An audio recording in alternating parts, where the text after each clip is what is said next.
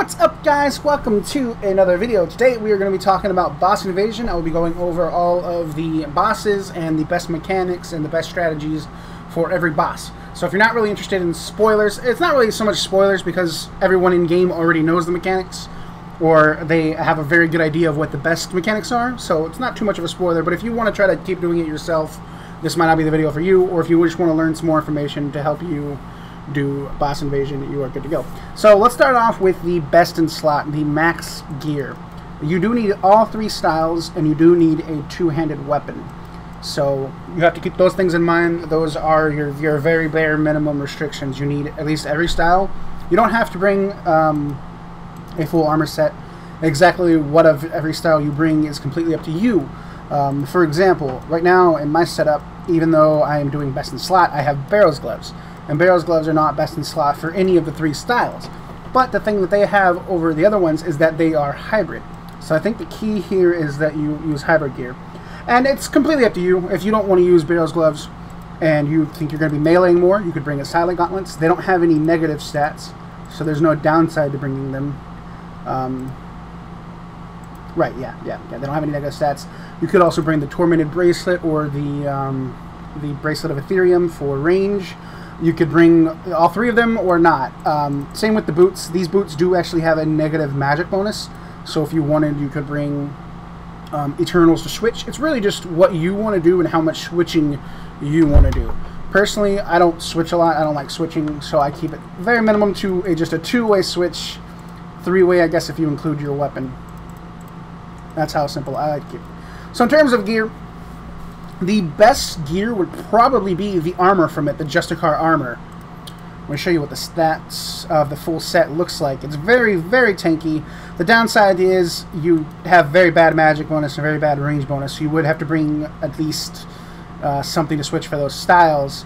Um, but what it does have is a very nice uh, damage reduction, a 10% damage reduction when you have the full set, which is also why we are using the Elysian. The Elysian actually has a damage reduction as well. The difference between the Elysian and the full set, other than the Elysian being a better damage reduction, is that the Elysian also drains your prayer points, um, a percentage based on what was reducted. So there is sort of a downside of that, but uh, you do get rations in the waves, um, and part of those rations is super prayers. So prayer isn't as important. You can get away with. You definitely you definitely should bring the Elysian if you have it. I would strongly recommend it. And uh, um, in terms of your your your weapons and whatnot, and that really comes down to to different people and what they think is worth it and what they actually have, because every monster has a specific weakness. The first monster, the jungle demon, is weak to stab, which is a big part of why we're using a rapier. Not only is rapier a very fast and high damage output weapon with four special attacks, um, it's just it's it's really good against the first boss, and um, the second boss has to be killed by a melee weapon. Now, a lot of people use Scythe. I think Scythe could probably be better, but it does have a crush weakness, so um, Elder Maul could work. I've tested the difference between like using a bludgeon and using a crystal halberd, and the crystal halberd seemed better. So I'm not sure how much of his crush bonus uh, matters. I think if you did have Scythe, it could be end up being better. I will test it a little bit myself because that is something I am curious at. But it does have a weakness to crush, so at least for now, we will be using an augmented Elder Maul. The third boss, the Yeti, is weak to fire spells, so we have in our rune pouch the uh, ability to uh, do Fire Wave, and we're on the right spell book. Um, the fourth boss is weak to range, but not twist, uh, not a twisted bow. So what you could do is, if you have a Sirenic bow, I would use that. Um, if you don't have a Sirenic bow, you could try a blowpipe, or you could just use melee since you already have melee. Um, let me once. It does have a higher stab defense than um, any other defensive style, so rapier might not be that great for doing it, but you could you could just use um, it anyways. I'll show you when we get to that part, and um, you can sort of judge for yourself if you think it'd be worth it or not. I think a lot of this comes down to um, knowing the mechanics, and again, I'll teach you them all, so you'll, you'll, you'll, have a good idea for it, and just understanding your gear and what you want to do. Because if you're willing to switch, like you do an eight-way switch, obviously bring bring that. And another thing you have to remember is that you are limited to your, your food. You do have to complete six bosses in a row. You do get rations after the second and fourth boss, but they are um, pretty random and they uh, you might have to be uh, smart about it. Uh, the fifth boss is the Vanguard, which you have to use all three styles for. I'll get into more um, specifics on what, what you'd want to use, but it is weak to Twisted Bow, so for range you would want to Twisted Bow. It doesn't have any specific, uh, specific uh, melee defense, so Rapier will do very well there. And then for range, uh, or for magic, just the Fire Wave. Now this one is one that, um, again, there's it's really up to your what you want to do and what you think is worth it, because for the magic phase on the Vanguard boss, it is kind of difficult because it's not so much that it has high defense; it's just that it's smacking you, and then you're on the fifth boss. You'll get no more. Um, you'll get you'll get no more rations or anything. So it could be it could be important to kill it quickly. And a, a popular strategy is to use Bryophyta staff um, and focus that down. So if you have Bryophyta staff right here, it can be very good on that boss. Um, it's also currently very good on the Yeti boss, but that's not intentional, and that'll probably be fixed. So I don't want to teach you a method that um, is going to get patched. But you could still bring both if you wanted to, and use the fire uh, the fire spells on the um, Yeti boss, and then later down the road when you hit to Vanguard. But personally, I just use Fire Wave, and it works perfectly fine. It's it seemed it seemed very well. And then the last boss is weak to Twisted Bow, so we will just focus on that. So. Um, in terms of what style you're using, it kind of switches up a lot, so there's really nothing you should should focus on. Um, I would definitely bring equal gear to all three, which is why I don't have um, boot switches or different gloves. The Salve Amulet does have a boost against the uh, fourth dude, the Koschei the Deathless, and the last person, Haziel. So that's worth bringing. It's also a very nice hybrid amulet, has stats and everything. Um, again, if you want to try to focus on one style over another, you, you, you're more than welcome to do that. But we're going with a nice little uh, hybrid setup here, and um, I'll get into the food and whatnot, and then we'll, we'll get us started. Also, um, yeah, the Ghrazi Rapier would probably be better than the Rapier, the normal Rapier, but most people don't have it. Um, and even though they wanted to see best in slot, it seems wrong to include a weapon that no one really owns. But uh, yeah, that would be better. And then if you have the Scythe of Vitur, it doesn't actually get a um, damage boost against the the Evil Spirit, the one that requires a two-handed weapon. So I don't think it would be best in slot there. It does have a damage boost against Vanguard and the Jungle Demon, but those two bosses aren't really that uh, that strong anyways, so uh, I would stick with either the Ghrazi Rapier or the normal Rapier, and just for this video's sake, I will use the normal Rapier. Now, if you don't have max gear, I, I, guess I should talk about the lower end gear. Just bring the best you can. The the minimum, there really isn't so much of a minimum because in order to do this minigame, you need to have an Assembler Max Cape and a Infernal Max Cape. You have to show them to talk to earn his approval. Once you've earned his approval, you can do this minigame, the Boss Invasion minigame. So you have to have those two items, and I assume if you have both of these items, unless you've quit and recently come back or something like that, you probably have a very good gear. Um, you're probably missing pieces. It's probably not so consistent. You can switch out whatever you want. Um, if you wanted to use a uh, Helm of Neitiznot as a hybrid helmet, that could work perfectly fine. If you wanted to focus melee and go Serp Helm, that could work. You had a Chompy hat and wanted to go range, that could work. It's really up to you. Um, the gear you use isn't so important as long as you have the best you can, the best gear you have for for at least all three styles or some hybrid variation of it all. You know what I mean? So you could bring Obsidian instead of that Maskets. You could bring, um, you could, I mean, you could probably get away with Ahrim's instead of Robe of Darkness, you could get away with normal Armadyl. I, I, I, think you could very get away get away with a lot of things. Um, on my legit account, I don't use Elder Maul or Scythe. I don't have them. So I use a Crystal Halberd, and that's kind of a really low tier. It's not a low tier weapon, but it is a very easy to obtain weapon, and that will work very well. If you don't have a rapier, I wouldn't recommend a slash weapon. Um, so I would say, well, yeah, I mean, I guess so. If that's all you have, slash, but you do want to focus on stab. So if you have a rapier, I would use it. If you don't have a rapier, if you already made a juggernaut, um, just use your juggernaut. I, that's what I use myself, and it works. So, so, so you'll be fine with it. It's a little slower, um, but uh, yeah, it's really just about what gear you have and what you're trying to accomplish. As long as you've got your range stuff, I, I would say T-bow is really good. But if you don't have a T-bow for the for the last two waves, um, you could get perfectly fine with it uh, for with a blowpipe or a Sirenic bow if you have that. I think if you didn't have a blowpipe, I would I would try maybe um, a crossbow, so that you could also use the um, Elysian Spirit Shield. Uh, I, I, mean, if you just had rune crossbow, I think it would work. It would be slow, but um, I guess that's really up to you. And, and it's you know a part of the game, a part of the game of RuneScape is trying to improve your gear. So I think whatever kind of base setup you had would be perfectly fine. It would be very doable. Some people have been disappointed with the fact that this mini game isn't so difficult, but that was what we pitched. That was the original idea, was that it wasn't supposed to be insanely hard. It was a matter of knowing what you're supposed to do, when you're supposed to do it, and making sure you're doing it. You know, not AFKing, not um, losing, you know, losing concentration because you might get comboed out. So um, it's really just about knowing what you're supposed to be doing, and this video should help you. So let's get into let's get started. Let's get to food and let's get going. Okay, so uh, for food, you want to use the best food you have. Garden pies, since you can heal uh, two different slices. I think the total food is uh, 40. Is one of the best food you can bring. I like to bring two chug jugs per. Chug jugs are very good here because um, what it does is whenever you sip it, you have a 1 in 15 chance of it breaking.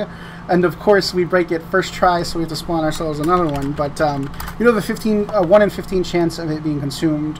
Um, and it heals, I believe, 10 or 15. I'll double check in a second. Um, so it's a very good food. It can come very clutch. If you're low on supplies, you're on the last boss, and you can just ride a chug jug all the way. Um, so in order to make it, what you need to do is you need to have 15 invention. You need to have the slurp juice schematic, um, and then you have to make some slurp juices.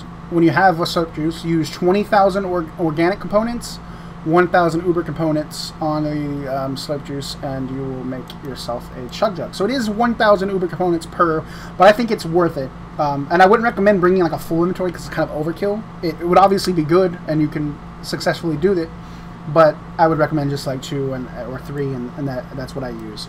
Um, Slisuke Shadow is an item that boosts all of your stats. It's a very high-end weapon, so it is uh, or high-end um, equipment. I don't know what you call it. Um, so it is uh, best in slot for sure. If you don't have this, um, I would just recommend bringing an overload, a normal overload. If you don't know how to make them, you can actually purchase them from the Zenaris shop. So any any new, I mean, if you have Infernal Maxcape, I would hope you would know about the Zenaris shop, right? um, so yeah, I would bring that. It's not really worth bringing like um, like an imbued eye and then a imbued heart and the demonic tome all three of those individually. I mean if you wanted to you could. It's completely up to you. I would recommend just one slot overload because that boosts all of your stats and that'll work just fine. We only bring one super prayer. You probably won't need it. Like i said you do get rations and uh, it's possible you don't uh, you won't receive a super prayer dose um, but even if you, even if that happens, I think one would still be perfectly fine. So this is what the inventory looks like. Um, again, runes. We just have a normal blood wave spell. That's what we're going to be using to start. Um, uh, I guess to start, you'd go into the lobby and then go through the doors.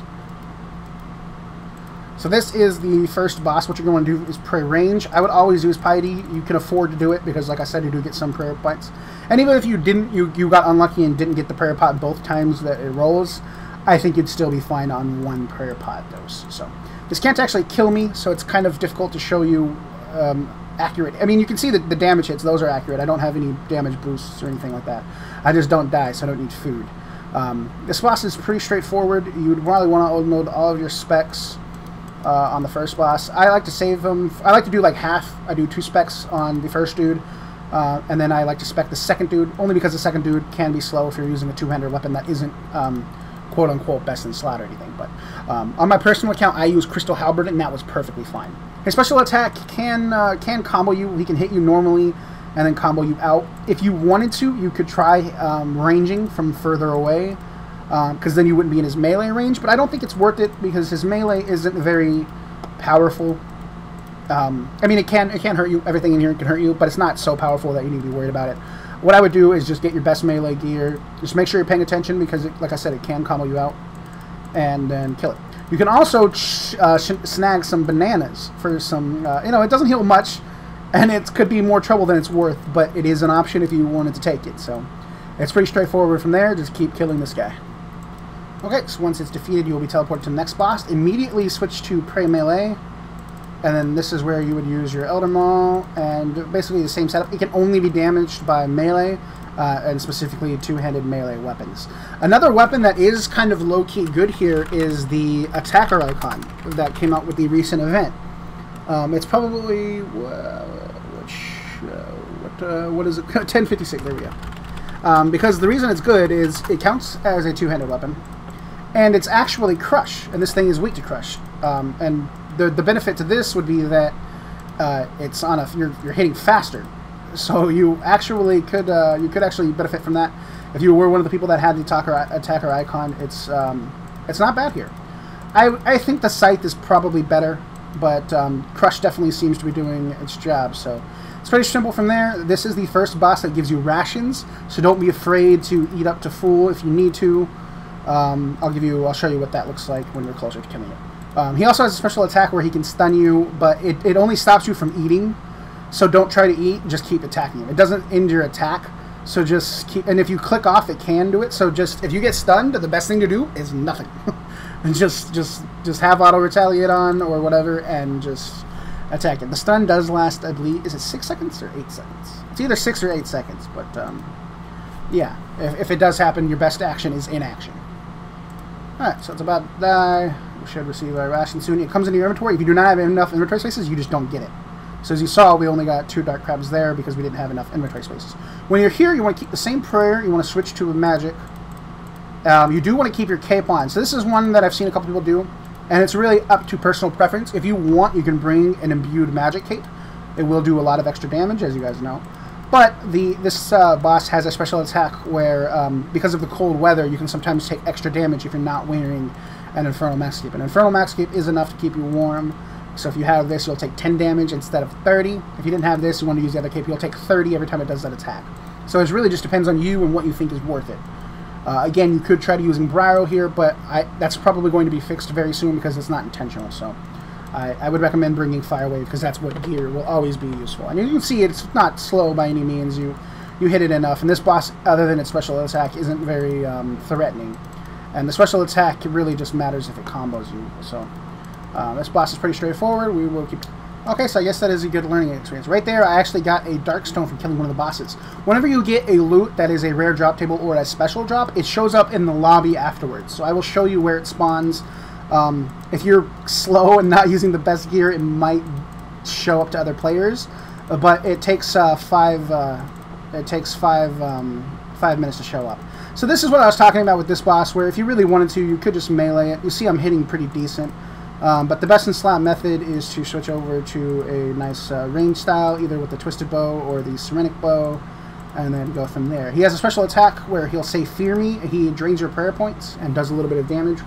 And then once he hits 200 health points, he regains some health. So you essentially have to kill him twice. But he's not very difficult. He can hit through prayer slightly, and his special attack is a little annoying with the prayer drain. But you can see I've only used one sip, two sips, and there's no real threat of, of, of being concerned. This is also another boss that, this is the last boss that will send you rations. So if you need to eat, this is the time to do it. There's no reason to be at 60 health when you're fighting this dude because um, he's going to give you items anyways. You see right there, that's his special attack where he regains his health. So it's very simple from here. You just keep killing it, and you will receive rations, so do not be afraid to waste food. Now, it is possible that you'll receive, you're, you're guaranteed to always receive at least two dark crabs with a maximum of, I believe, eight. And then with the potion, you're guaranteed zero, so it's possible you can get zero with a maximum of two. I think it's uh, one dose sips. I believe, yeah, it's one dose sips, so like I said, it's probably best to just eat up. Even if you don't get the extra food, I think it would be worth it. Um, but it's really up to you and how you see your run going. And if you need to, don't be afraid to use the chug jugs. That's what they're for. Because of the 1K, I mean, the 1K Uber component cost is not much at all, but it is enough to where I don't, I personally don't like wasting them. Um, but if you don't care about 1K Uber components, you want to make a bunch of them, by all means, do it however you want to be doing it. So it is dead. We received rations, no super prayers. So this is probably one of the worst runs we could have had. Um, but even still, we're not going to have, like I said, we're not going to have any issues with prayer. So this is the uh, the one that requires the most paying attention, if you will. Um, the good thing about it is it, it's the only monster that's not aggressive. So you do have time to like get your prayers and get your gear on. So you're going to start off with melee. Um, nothing, like I said, nothing particularly fancy. What you're going to do is tack it down to a thousand health. Once it's below a thousand health, it can no longer be attacked by melee. You have to use magic. So just... Oh, oh, I'm sorry. Pray, pray magic. Pray magic. Do not pray melee. Pray magic. We, you can saw we just got shredded right there. Yeah, you definitely want to. So, uh, just kill it. Keep an eye on its health. Once it drops to down to a thousand, we're going to switch to our magic gear. Um, the boss does use melee if you're standing in melee range. Um, so whenever I switch to magic, I like to uh, move it to the side. Okay, so I believe it's at, nine, it's at 999. Sometimes it's not always so clear to, to tell. But if you're not doing damage and you get an XP drop, that means you're bad. And so this is where instances where like I know I'm you know I'm, I know this is negative bonuses, so maybe that'd be worth it. It's really up to you and your call what you what you want to do, but um, it's that simple. And then once it drops down to 500 health, you're going to switch to range. It is weak to T-bow, um, so we'll be T-bowing the, the rest of it, and then we'll, we'll just stay with the T-bow and finish up the last boss and collect ourselves a nice little reward. This boss isn't weak to anything in particular. The only weakness it does have is Twisted Bow, so yeah, it doesn't matter what you bring. Just bring whatever you can. Okay, so now it's at 450. We're going to switch right over to the range gear and then we will be using this gear to finish the entire thing. As you can see, one prayer pot is going to be perfectly fine, and you do have the chance of getting those extra sips. So, if you wanted to be safe and bring two, by all means do it, but uh, one is perfectly fine. So we'll just finish this boss out. Okay, so here is the last boss. He has a special attack that can drain your prayer as well. He also has a chance to summon bats. But none of it is too concerning because he is super weak to the Twisted Bow. You can pretty much just try to tank him and focus on damage. So again, it's really just about knowing what you're supposed to do, when you're supposed to do it, and you can successfully do it with a cup of food left over. Um, should be easy every time. So if you have any thoughts, any suggestions, any questions, by all means, comment below. We'll finish this dude up, and then we will uh, we will see our loot. Notice I did cheat by using infinite special attacks. There's one thing I can do to, to do that. Um, it doesn't make a difference. The special attack normally wouldn't matter too much, but you can see it's we're dead here. We, we didn't even trigger the bats. The bats aren't too difficult. If they do spawn, I would recommend killing them because they do have a very high um, they have very high accuracy and they only have 10 health, so it's easier to just kill them quickly rather than let them focus you. But I would only recommend that if you were uh, like if you were starting the fight and it just happened to do it early on because it's a it, it, takes a lot of trigger. So here we have our one reward system. I will have a video out tomorrow talking about all of the rewards, how they work, and I will be doing a nice opening video. So thanks for watching. I hope you guys enjoyed. I hope you learned something. Again, if you have any questions, any suggestions, any thoughts, let me know below. But that is Boss Invasion, and it's that simple. All it requires is max gear. no, no, it's it's very doable with other gear. You can see how easy it was with this gear. But on my, I'll show you my account right now. I, I, I guess I kind of have similar gear. I do have the crown. I do have twisted bow. I do have Crypt Armadillo. Maybe one of these days we'll do a challenge video where we, we attempt it with like the bare minimum gear. That could be really fun.